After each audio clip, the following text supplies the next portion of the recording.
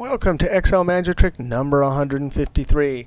Hey, if you want to download this workbook and follow along, click on my YouTube channel, then click on my college website link, and you can download the workbook, Excel Magic Trick 146 to 154. Hey, in Trick 153, we're going to have to see how to calculate commission pays three different ways, and then use conditional formatting to always see which one is the max.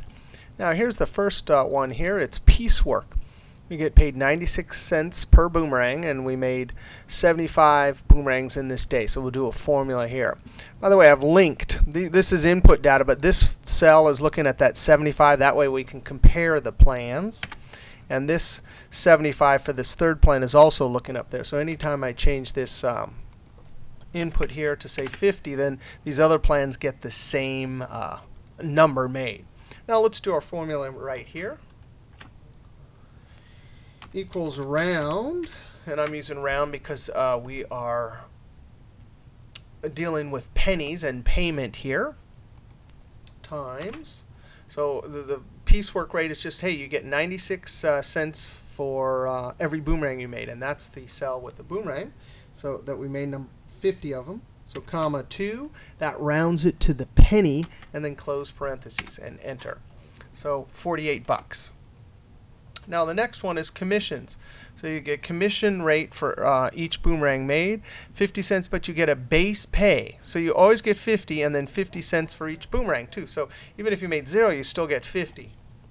So we'll do equals round, and we're doing 50 plus, and now this uh, incentive to make more boomerangs, 50 cents times uh, the number of boomerangs you made comma 2, close parentheses. Uh, and then enter. So there, that one's $75. And that makes sense because 50 bucks base plus uh, 50 cents um, for 50 boomerangs, that's an extra 25 bucks. Now, finally, this one, we have a number of boomerangs. The hurdle is 100. And this would probably be more typical than this because you don't want to get paid 50 bucks for nothing made. However, if it's easy to make 50 in a day, then you, this, this might be OK. But this is a bonus plan. You're only going to get this extra 75 cents per, for boomerangs if you make more than 100. The base pay for the day is 100 bucks. And here's how many we made. So equals round. And we're going to say our base pay plus, and now we're going to have to do an if. If uh, this right here, that's the number we made is greater than this one.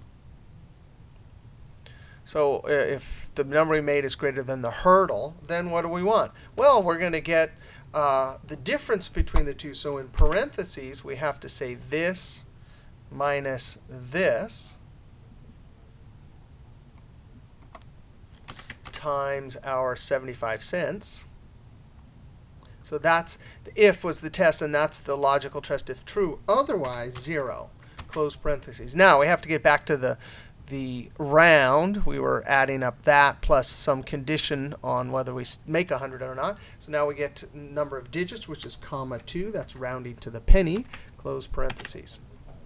OK, so we can eye this and see 48, 75, 100. This one's obviously uh, the best deal. Now, let's do conditional formatting. I'm going to click here, here, and here. And we want to do conditional formatting.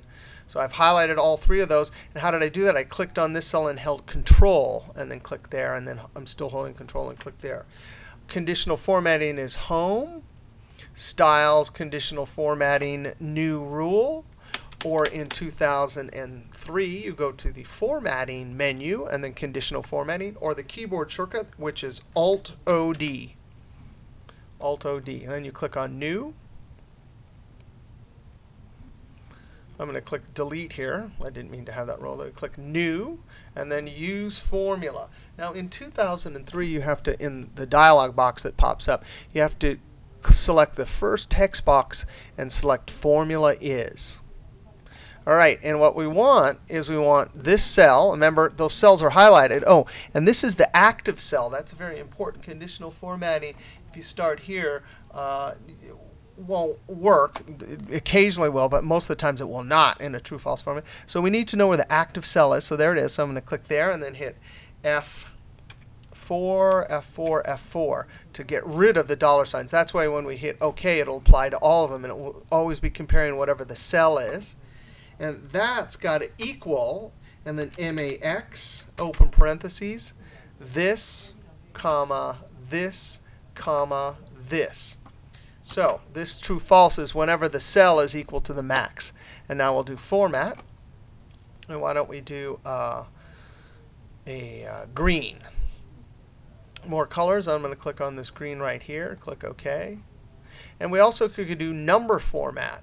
Now we don't need number format. It's already got number format. How about font? How about an underline? How about a double underline? and then click OK. So there it is. That's the conditional format. And then click OK, and then click OK. Sure enough, there it is. Now we could change these. 100, uh, or no, 75. Looks like this one's going to beat it every time. 125. Oh, wait a second. Look at that. So yeah, maybe this one is a better one. Let's try a different one. Uh, 150. Oh, yeah, it depends on how many you can make. If you really can only max out at 50 or 75 a day, then uh, you as an employee would pick this one, right? But if you could think you can make 110 or 120, maybe you would pick this one. So that was a, uh, a example of different uh, pay plans and using conditional formatting to immediately highlight the max. All right, we'll see you next trick.